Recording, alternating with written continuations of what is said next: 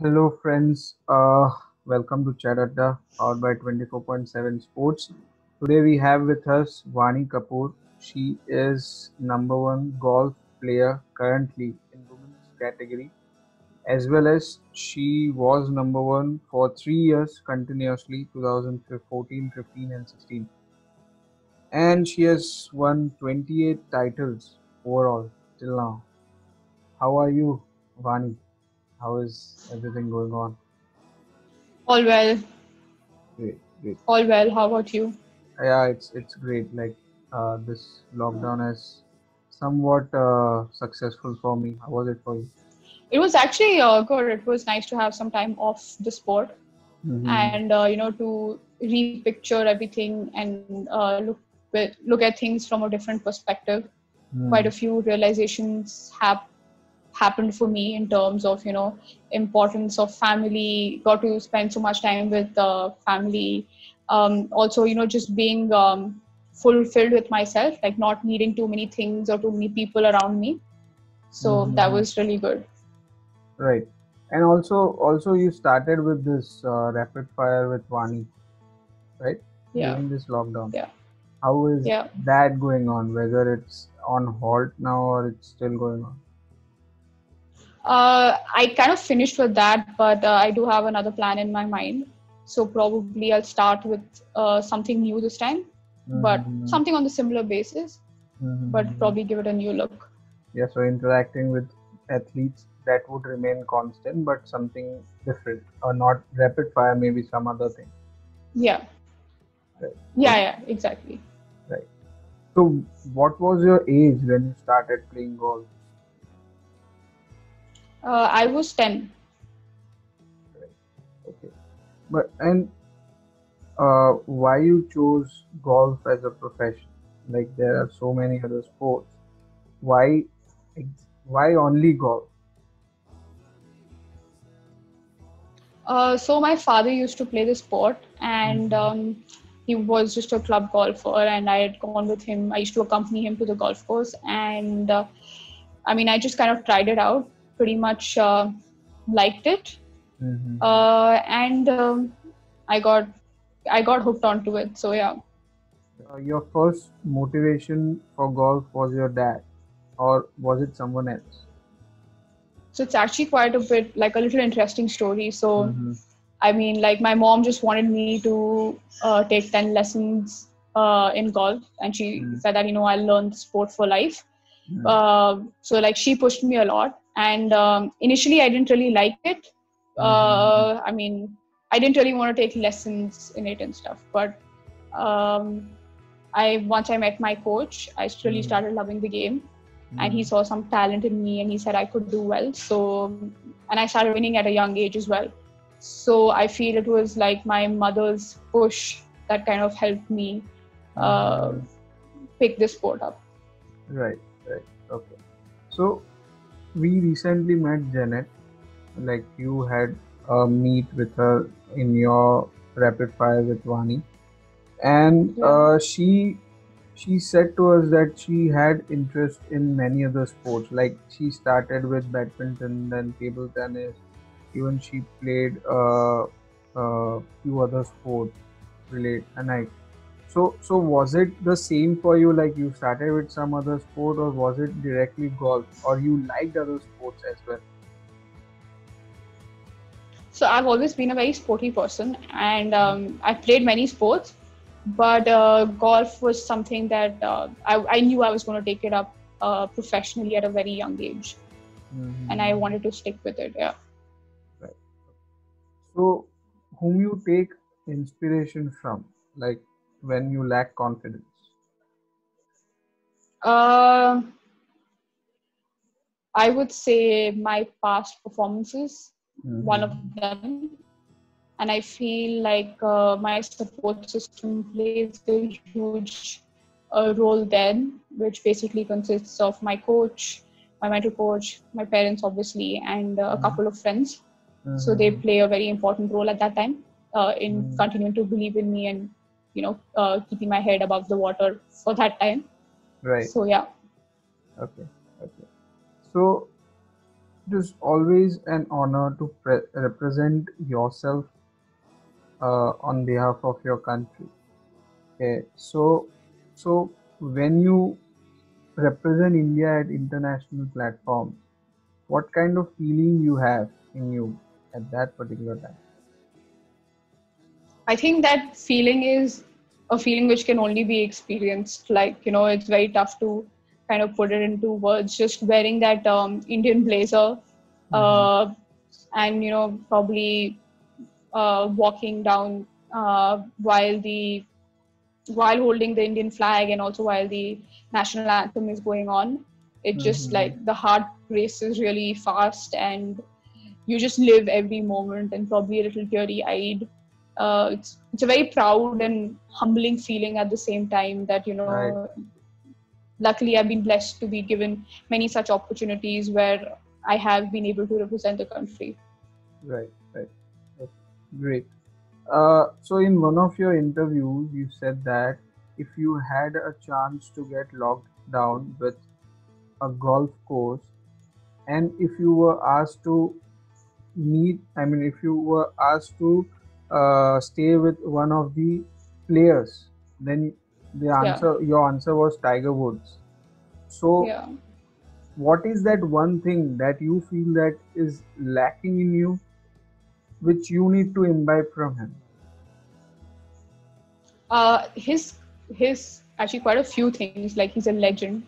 So mm. like uh, his scoring ability and just the way I would be, I'm really curious to know how he thinks on the golf course and how he gets things done under pressure situations. Mm-hmm. Right, right.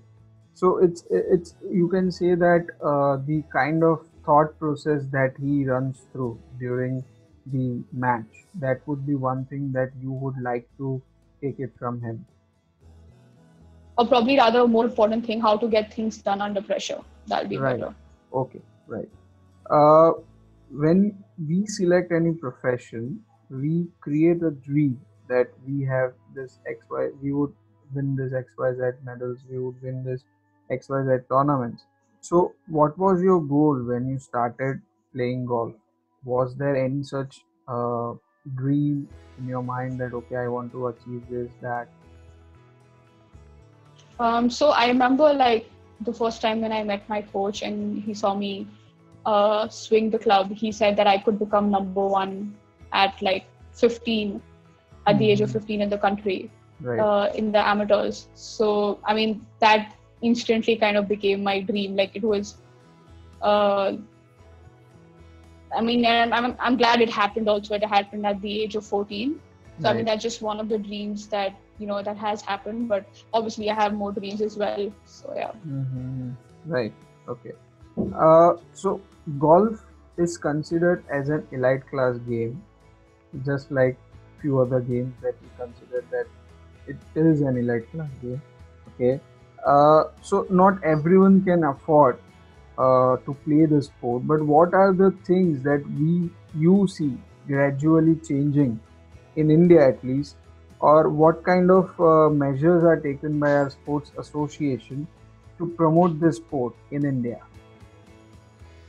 i feel there are many more uh, non-private clubs coming up which are easily accessible uh, to you know everyone whoever wants to go play and uh, they're not that expensive as well at the same time so i mean it would be probably as much as uh, it would probably cost a child to get a football session mm-hmm. or you know like or any other sport for that matter golf mm-hmm. as a sport i feel uh, it is elite because it kind of has that tag with it but uh, and also elite for the matter that you know you can't just go play it out on the road like you know badminton mm-hmm. you can just set it up anywhere and right. you can play and other right. sports also and like for golf you need quite a lot of uh, area to play mm. uh, but also at the same time with the kind of uh, influence that people have uh, in this day and age barring if covid was uh, not there i don't think it's that expensive and on the other hand on the flip side i feel every sport can become uh, expensive if it's taken professionally Mm-hmm. So things like the whole ball game kind of changes when uh, mm-hmm. you take it mm-hmm. to a professional level. Right, right. So, are there any seniors, like for example in badminton, we have seen that senior players like Gopi Chand sir has started uh, his academy at Hyderabad for uh, new kids to join in and learn uh, the sport, and the kind of atmosphere that they provide is amazing. So, are there any such seniors uh, from India who have created such a aura uh, where kids can join and they can learn golf, or they need to join clubs only?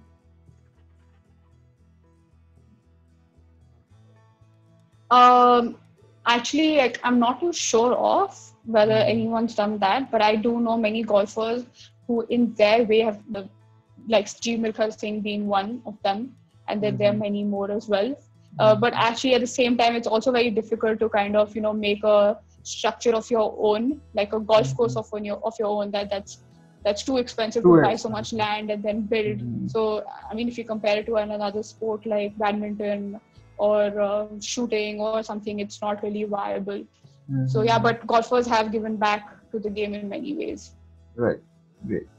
Uh, first of all, congratulations. I uh, I forgot to say that at the start, like on winning 28 medals for India on your name. Thank But you. as said, as said that Rome was not built in a day. So, what kind of problems or difficulties have you faced when you were achieving these medals or during your career?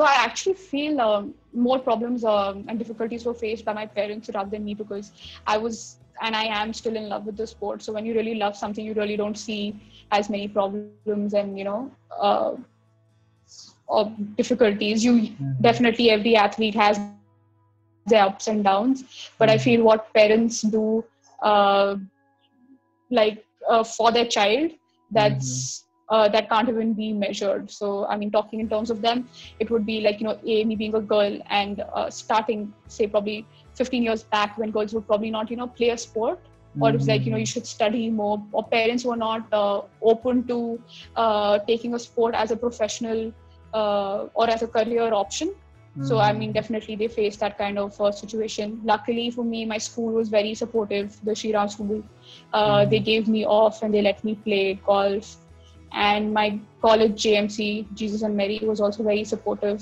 Mhm. so i didn't really face that many problems as such right, okay.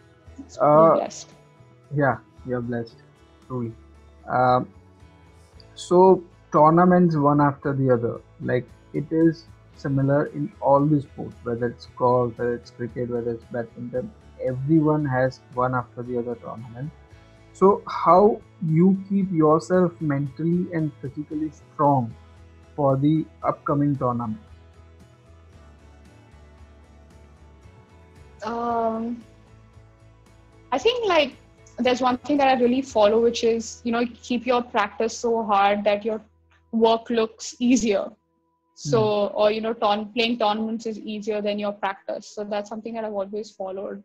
And yes, it does get uh, difficult because you're traveling so much, different time zones, Hmm. probably playing like you know eight nine weeks back to back. It's just something that uh, I feel experience kind of teaches you. Listen more to your body, what your mind is saying. Uh, as long as you don't go against your own self, I think you'll be fine. And it's very normal to kind of have a dip in between somewhere of those Mhm. um, eight to nine weeks, but just to Mhm. accept whatever happens. Mm-hmm. Right, right. So going with the flow would be uh, the right answer. Yeah. Like how Yeah. how it should go. Right. Okay.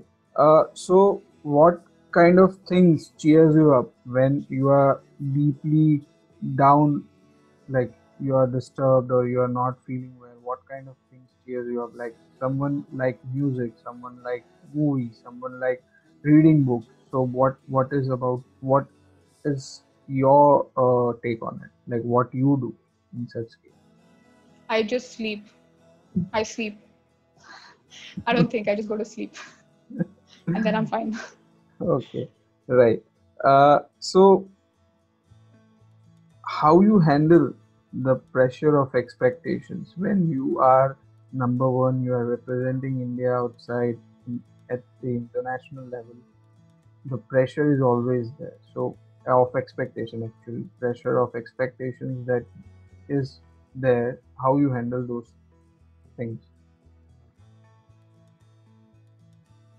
according to me i divided it into two parts one is self expectations and the other is what the second one is what other people put on you mm-hmm. so uh, i've kind of learned to deal with what people kind of expect out of me because mm. i feel that's something that i don't have to live with mm. and i hmm. need to uh, live with what I expect from myself.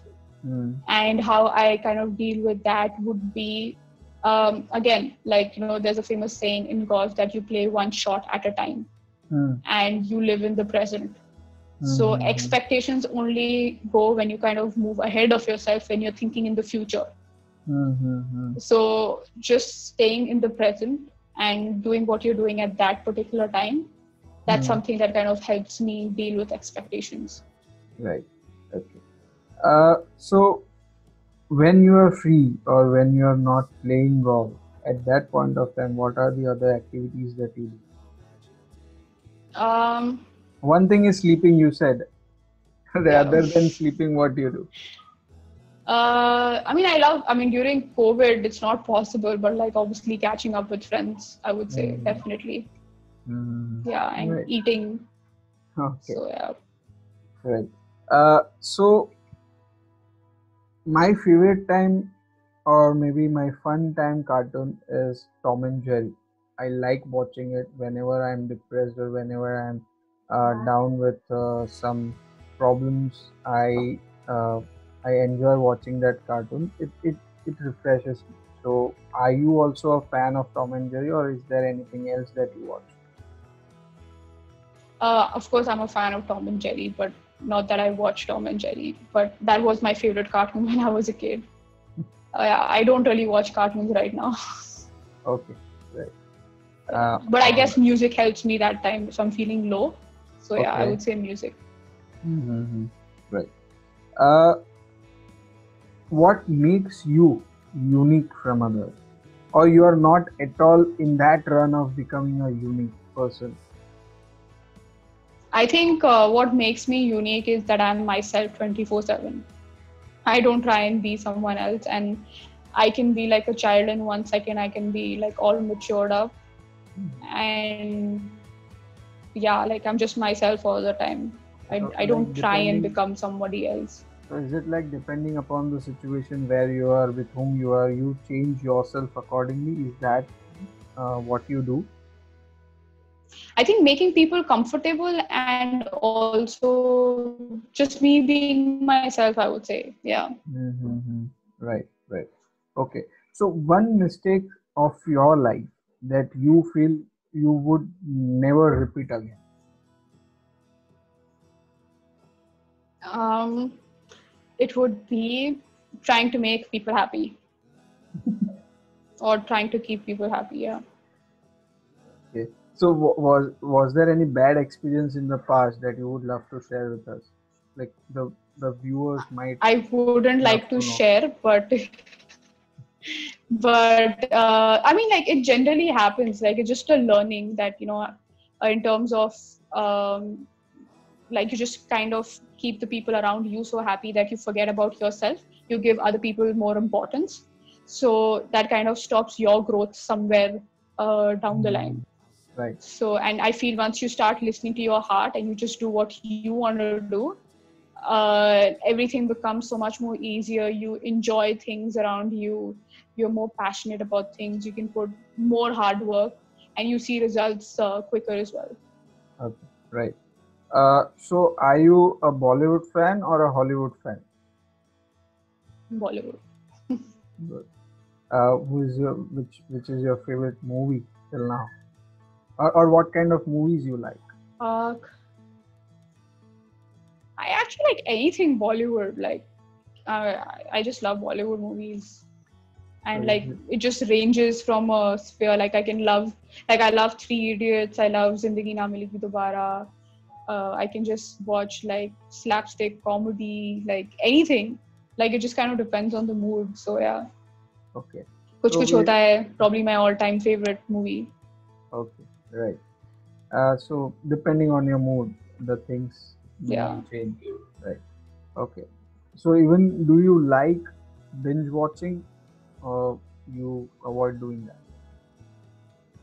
Uh, no, I I don't like binge watching. Luckily, Okay. yeah.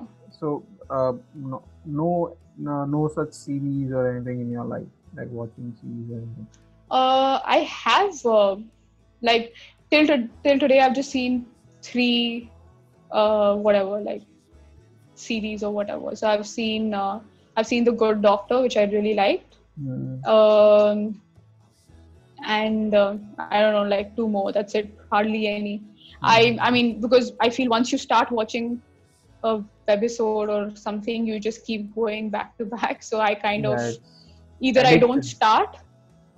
Yeah, yeah, I don't want that addiction. So I'm very yeah very particular about that. Right. So, if you had to choose between two things, one is playing golf throughout your lifetime, and second, after a point of time, you start training the juniors, what would you choose? if I'm already after some time started choosing, I mean, starting training juniors,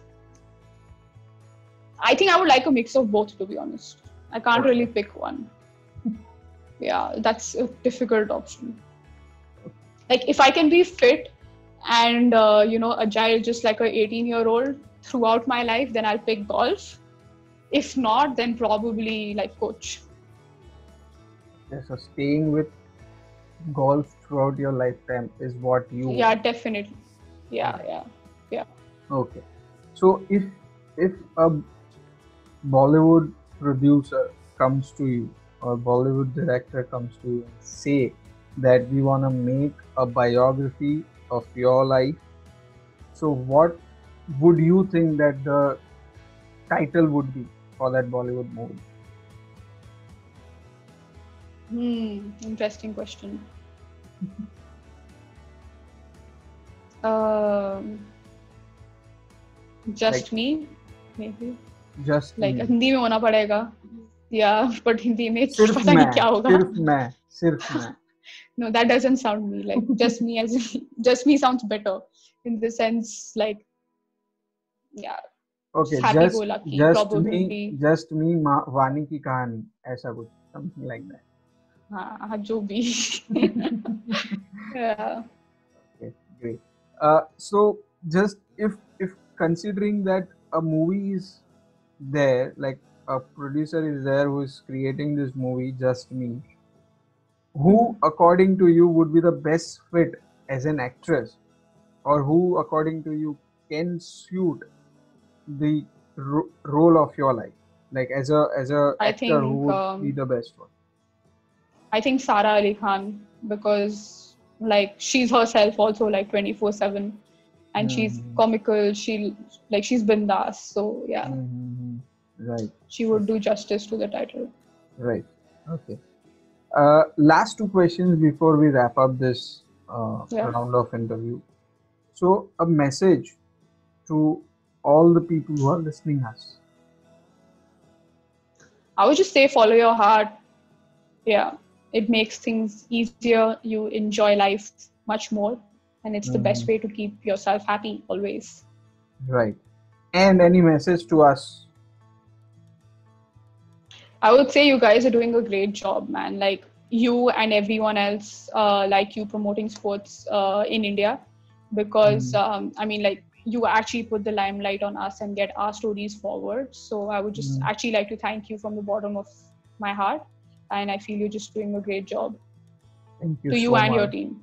Thank you so much from me and my team because uh, the idea is to promote Indian sports. Like, see, people know cricket, people know badminton, people know table tennis because there are tournaments, there are uh, leagues that is going on round the year, and Yeah. people have. And after, uh, for example, in badminton, after Saina Nehwal won that, that those medals, people are knowing that there is someone known as Saina Nehwal in badminton. But Yeah, this sport, like squash, like Janet Vidhi is playing for squash, like you in Hmm. golf, people are not very much aware that even India is ahead in this. Yeah, India yeah. is not behind in this sport. India is participating in those sports, and we are winning. Like for example, we have won Yeah. 28 titles, and that's a great thing. People should know about it, and that is what we want. We are trying to promote through our channel. Hopefully, finger crossed, Thank you. goes ahead and uh, we we get chance to meet every single athlete of India. Yeah. Congratulations to you and wishing you all the best always. Thank you so much, and uh, again, thank you so much for joining us. It was a pleasure for us to invite you, and uh, you have been a great sport for us. Thank you. Thank you so much.